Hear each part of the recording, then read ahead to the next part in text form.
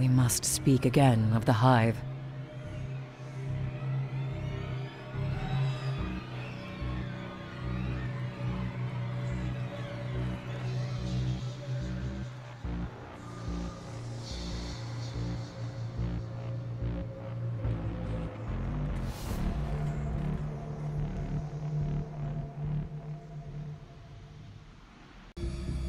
Welcome, Slayer of Oryx.